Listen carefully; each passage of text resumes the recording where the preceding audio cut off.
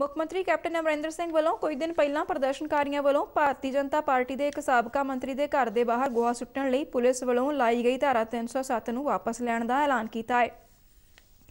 ਮੁੱਖ ਮੰਤਰੀ ਕੋਲ ਗ੍ਰਹਿ ਮੰਤਰਾਲਾ ਵੀ ਹੈ ਅਤੇ ਉਹਨਾਂ ਇਸ ਮਾਮਲੇ ਵਿੱਚ ਧਾਰਾ 307 ਤਹਿਤ ਮਾਮਲਾ ਦਰਜ ਕਰਨ ਵਾਲੇ ਹੁਸ਼ਿਆਰਪੁਰ ਦੇ ਐਸਐਚਓ ਦੀ ਬਦਲੀ ਦੇ ਹੁਕਮ ਜਾਰੀ ਕੀਤੇ। ਮੁੱਖ ਮੰਤਰੀ ਨੇ ਕਿਹਾ ਕਿ ਹੱਤਿਆ ਦੀ ਕੋਸ਼ਿਸ਼ ਵਜੋਂ ਦਰਜ ਕੀਤੇ ਗਏ ਇਸ ਮਾਮਲੇ ਦੀ ਵਿਸ਼ੇਸ਼ ਜਾਂਚ ਟੀਮ ਵੱਲੋਂ ਜਾਂਚ ਕੀਤੀ ਜਾ ਰਹੀ ਹੈ।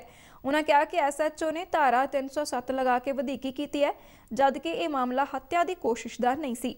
ਜ਼ਿਕਰਯੋਗ ਹੈ ਕਿ ਕਿਸਾਨ ਪ੍ਰਦਰਸ਼ਨਕਾਰੀਆਂ ਨੇ ਭਾਜਪਾ ਆਗੂ ਅਤੇ ਸਾਬਕਾ ਮੰਤਰੀ ਤੀਕਸ਼ਣ ਸੂਦ ਦੀ ਹੁਸ਼ਿਆਰਪੁਰ ਸਥਿਤ ਰਿਹਾਇਸ਼ ਦੇ ਬਾਹਰ ਇੱਕ ਟਰਾਲੀ ਵਿੱਚ ਗੋਹਾ ਭਰ ਕੇ ਸੁੱਟ ਦਿੱਤਾ ਸੀ।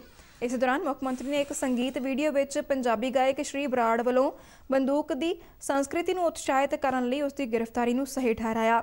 ਮੁੱਖ ਮੰਤਰੀ ਨੇ ਕਿਹਾ ਕਿ ਗੈਂਗਵਾਦ ਅਤੇ ਬੰਦੂਕ ਸੰਸਕ੍ਰਿਤੀ ਨੂੰ ਉਤਸ਼ਾਹਿਤ ਕਰਨਾ ਬਿਲਕੁਲ ਹੀ ਗਲਤ ਹੈ।